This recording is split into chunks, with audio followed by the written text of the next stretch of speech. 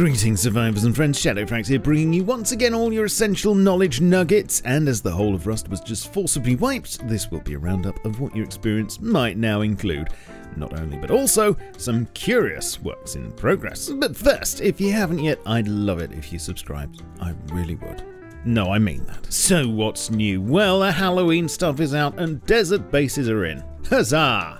For less places to build. There are four different templates, but the fillings are fully modular and procedurally generated, so the layouts will differ from map to map and wipe to wipe. You'll find a number of points of entry to each one, there's a bit of loot and oil to collect, but let's be honest, there's one overriding reason why players will be coming here, and it's not to meet scientists, of which you'll find a few loitering about. Rockety McRocketface has now landed with a thud Probably why its treads are knackered, but there's no need to move it, move it, as it can reach the whole island anyway, apart from safe zones because they're safe. And here's how you use it. First, find some MLRS rockets and a single-use aiming module. You'll find the modules in locked hackable crates and the rockets in Elite, Bradley and Attack Heli crates. You then put up to 12 rockets in the back, slap the module in the dashboard to activate its systems, and the island now becomes the shellfish of your choice. Click and drag the dashboard map to choose a target with the red crosshair, and if you've already placed a pin somewhere, you'll see this too, which helps deliver things right where they're needed. When you're happy with your choice, mash the big red button with your fist and think about what a lovely surprise someone's about to get. Some notes. There is a bit of randomness as to where the rockets will hit, but they should all land inside the red circle somewhere.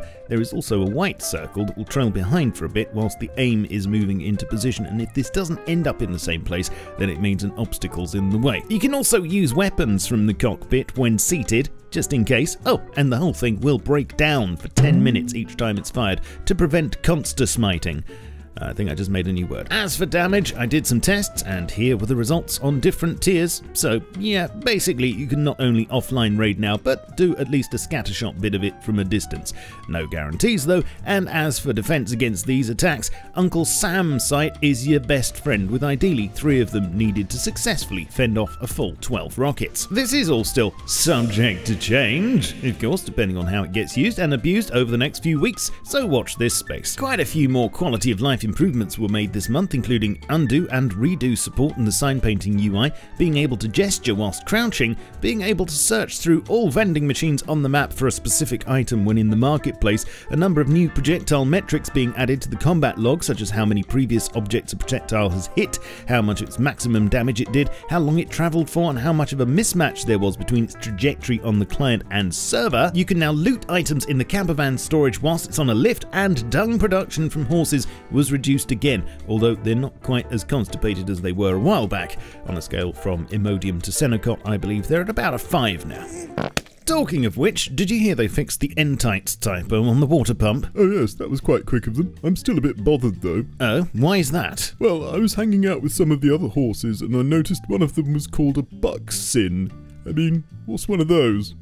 Some kind of naughty horse? Probably. He did poo in the food trough. What else do I have to tell you today? Well, there's a BP wipe coming on December the 2nd with next month's patch. That's nice, dear. And the team are doing a few things in works in progress, apparently. A bit of work being done on the Water 5 final branch. A commit relating to a brick building popped up. No context to that, I'm afraid, but it's interesting. A couple of commits about a snowmobile. What?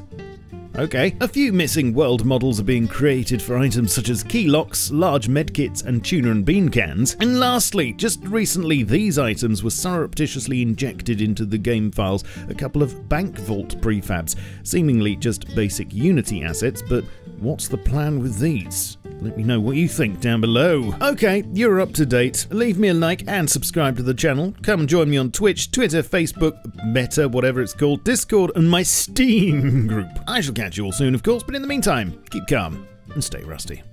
Cheerio. This video is powered by AWDIT's producer range of workstation PCs available now at awdit.co.uk. First, find some MLRS. First, find some ML. You'll find the modules in locked